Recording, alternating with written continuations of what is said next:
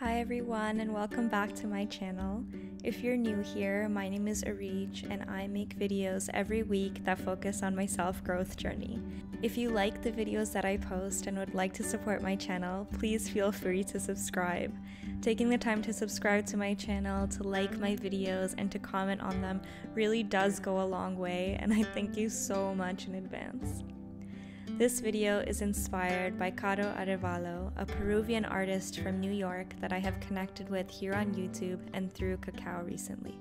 Her videos have been offering me a lot of tranquility during this period of unease and have inspired me to try and spread some of the calmness that I feel from her essence towards you, my audience.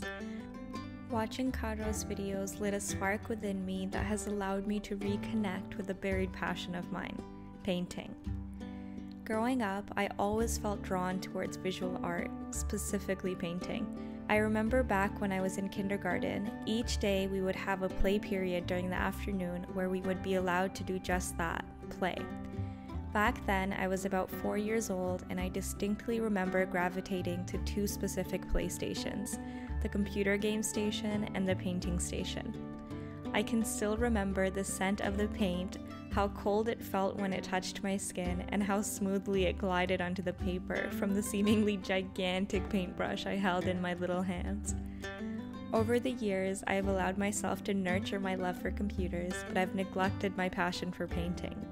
I took some art classes in school every couple of years to try and satisfy the passion, but never allowed myself to go in too deep. I want to be an artist, but I'm not an artist.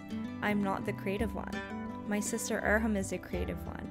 I'm the intellectual, the academic, the linear minded, the scientifically and technologically inclined. I am two years older than my sister, so when I started school and started excelling academically, Erham would spend her newly lonely days engaging in creative activities, making crafts, drawing, and writing. My mom noticed these budding aspirations and began to encourage them. She encouraged Erham's art, and separately, she encouraged my intellectual talents. It was at that exact moment in our lives where we put the first labels on ourselves. It was then when we constructed our first boxes to live in, making our respective realities smaller. I was the one that was going to excel in an intellectual field, while my sister Erham was going to be the artist. In my child mind, it could only be one or the other. For some reason, I thought that we both couldn't exist in the same space. I accepted this as reality and unconsciously cut myself off from believing that maybe I too had creative abilities. Looking at this now, this is also the exact moment that I succumbed to prioritizing the masculine energies within me whilst neglecting the feminine. But that's a topic we'll explore another time.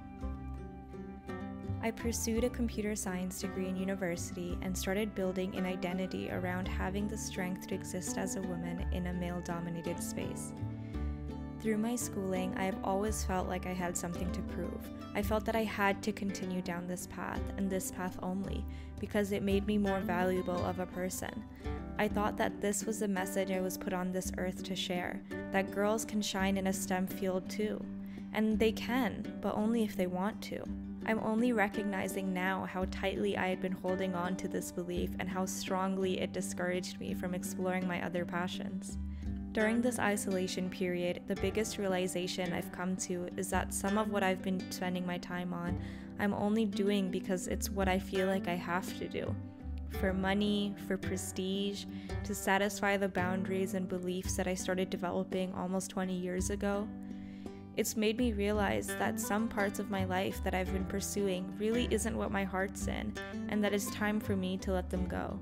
I have to let them go now so that I can focus all of my energy into what it is that I do want to be doing.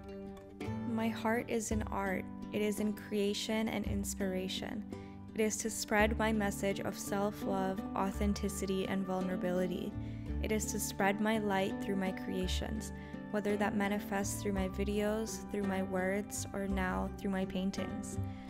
I still have a long path ahead of me in the realm of painting. I still have a lot to learn, but that really doesn't scare me. In fact, it excites me. I have my whole life ahead of me to practice this craft. This isolation period has allowed me to slow down time, to really feel every moment, and to reflect on it. I am in the womb right now, figuring out exactly what this era ahead of me will look like. In this period, I am discovering and reconnecting with that whisper that speaks from within myself. That whisper that has been trying to encourage me all along to embody my desires. I finally have the space to be still, to listen, and to surrender to the flow. I am learning that I'm always supported and always will be supported, even when my mind can't exactly figure out how. Since this isolation period started, I have started learning how to paint, how to play the piano, how to speak Spanish.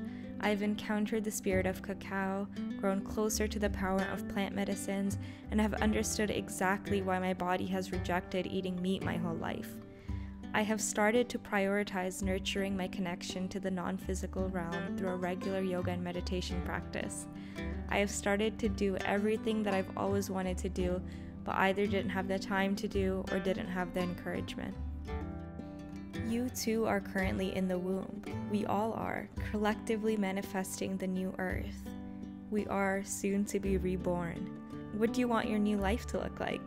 Is what you were doing before this period what you really want to be doing? What's your whisper guiding you to do? What's it pushing you to focus your attention on? Now is the time to listen, to follow the guidance. That guidance is the key to your fulfillment in this life. You were put on this earth to share a message. Practice listening to that voice to discover exactly what that message is, and then embody it fully and completely.